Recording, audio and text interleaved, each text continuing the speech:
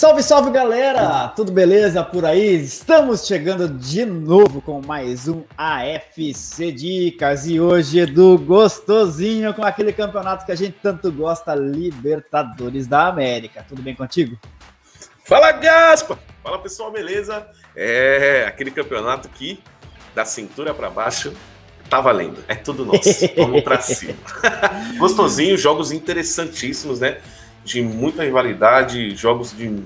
Cara, sensacional. Essa rodada, a gente pode falar, né? Essa parte agora da, da Libertadores em diante vai ser só pauleira. É, é nós estamos agora na fase de quartas de final, jogos de ida. Uh, conosco aqui nesse FC Dicas, a 188bet, numa das parceiras aqui do Apostas FC. E eu já vou Edu, direto para você com um jogo de terça-feira, nove e meia da noite, o clássico paulista. É só isso, né? Abrindo as quartas de final da Libertadores, um jogo desse tamanho, nove e meia, como eu disse, no Morumbi, São Paulo e Palmeiras. Já vai começar com o pé no peito. Eita, que delícia! São Paulo e Palmeiras. São Paulo que vem de um belo resultado no final de semana, né? Contra o Atlético Paranaense. E o nosso querido Palmeiras, né? Que vem aí cambaleando, mas eu gostei desse último jogo que ele cambaleou, né? Porque a gente tava no mais 0,75 pro Fortaleza, Gaspa. Nesse jogo ele pôde tropeçar, não tem problema. Mas, pessoal, é um jogo 50%, né? Como a gente fala, a gente vê também na, é, nas notícias, na TV, onde for, é um jogo 50%, não tem um grande favorito, né? São duas equipes que podem a qualquer momento fazer algo muito bom, como também pode acabar não fazendo nada, porque além de ser um clássico, são duas equipes que tecnicamente podem usufruir um pouco mais. E os últimos jogos, o São Paulo vem melhor, né? A gente tem que levar isso em consideração, tá? É, temos que ser justos. Porém, para mim, né, o Palmeiras ainda continua tendo um belo elenco. Não vai ter nenhuma, já vi Gaspa aqui as notícias, não vai ter nenhum problema de lesão. Eu acho que é a primeira vez no ano que o Abel tem 100% do seu time. Se ele quiser, ele vai poder até usar os todo mundo tá pensando, imaginando que ele possa usar, né? Aquela trinca lá na frente, estreando do Rony e Luiz Adriano. Bem Sim. forte, bem interessante. Então, assim, é um jogo 50%, pessoal. E a linha que eu achei bacana, interessante, de valor, como eu disse, como temos 50% né, nesse jogo, o handicap zero ou o empate anula, né? O mais conhecido como empate anula, o DNB, a favor do Palmeiras. Handicap zero a favor do Palmeiras, simplesmente pelo valor, tá? São como temos 50% de chance nessa, é, nesse jogo. E, a, e as casas estão dando uma odd acima de 2, tá? Odd mínima 2. Então eu achei muito interessante. Tudo pode acontecer. Palmeiras tem uma grande equipe, pode sim impor seu jogo. Se empatar, temos nosso investimento devolvido, então tem toda uma segurança. Então acredito sim, tem um valor agregado nisso, Gaspo. Então, handicap zero a favor do Palmeiras, tá? Odd mínima 2, tá? Fora de 2, abaixo de 2, obviamente perde-se o valor, tá bom? Então, odd mínima 2, vamos para cima. Beleza, vamos para quarta-feira então, Edu, começando a rodada 7h15 da noite.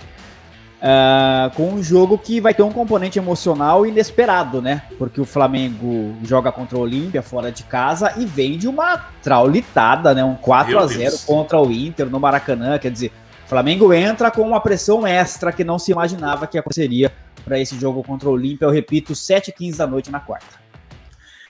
Nem o, nem o maior apostador do mundo, nem o vidente imaginaria um placar desse no jogo que foi domingo.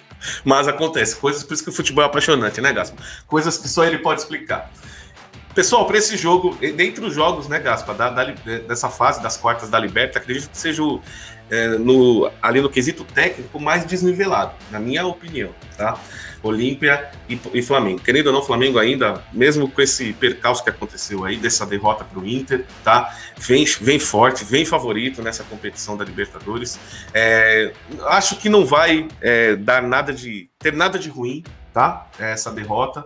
Acredito que foi algo fora da curva mesmo. Todo mundo. Não adianta você pegar um jogo só e achar que aquilo que né, é a verdade. Se você pegar toda, tudo que o Flamengo vem fazendo, é, tem grandes chances, tá? E o legal também da Libertadores, que as linhas de gols, que é o que a gente gosta e ama de paixão, sempre estão abaixo, né?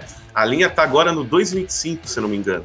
É, mesmo no Brasileirão a linha do Flamengo sempre está alta, lá está baixa, né? Na Libertadores isso é interessante, até por ser o jogo de ida, tá? Então para esse jogo, pessoal, Como o Flamengo pode também tomar gols, isso é óbvio, né? Porque joga fora de casa, mas pode fazer porque tem um, um ataque fenomenal. Eu vou buscar, tá? A linha do over 1.75 gols, tá? Já tá por volta de 40, Gaspa, 1,50. Então vai subir 15, 20 minutos já vai estar na nossa, na nossa odd mínima de 1,80.